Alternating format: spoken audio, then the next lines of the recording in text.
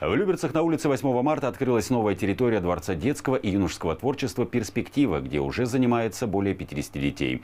Долгое время микрорайон не имел пространства, где ребята могли бы позаниматься в кружках и секциях. И вот вопрос решен. Что пользуется у юных люберчан наибольшим спросом, узнала съемочная группа нашего телеканала.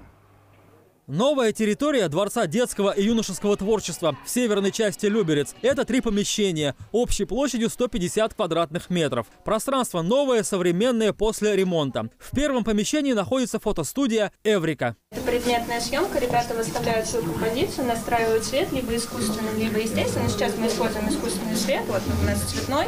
Ребят в фотостудии много, но школу никто не прогуливает, просто учатся во вторую смену. Подготовить центр к празднику помогли родители. У Альбины Ерютиной фотографией занимается дочь. Мы очень рады. Наконец-то мы долгое время ездили на ту сторону Люберец, чтобы ребенок занимался.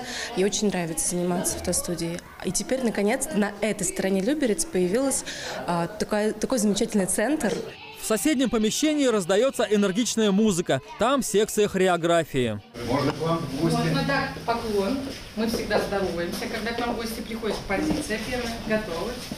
Девочки разучивают танец «Хорошее настроение», который исполнят на новогоднем представлении. Также примерка праздничных костюмов. У нас э, посещаемость э, наших детей по детским юношеским дворцам творчества порядка 8 тысяч, общая численность по округу. Мы будем стараться эту цифру довести до 10 тысяч. Абсолютно точно, что нужно расширять такую сетку. Мы будем обязательно работать над тем, чтобы создать единый центр. Вместимость нового пространства 150 детей. Пока центр заполнен на треть. Педагоги ждут новых воспитанников, например, юных шахматистов и художников. Секции для них откроются в следующем году. Наибольшим спросом пользуется, конечно, на хореографии. А, ну и карате тоже. Мы сейчас, мы, в принципе, только после открытия сразу набрали порядка 40 детей только на карате. Третье помещение отдано клубу робототехники «Кубик». Ребята занимаются лего-конструированием, сборкой роботов, программируют их. Конструктор универсальный и позволяет собрать не только роботов, предложенных в инструкции, но и разработать своих. Таня, Даша.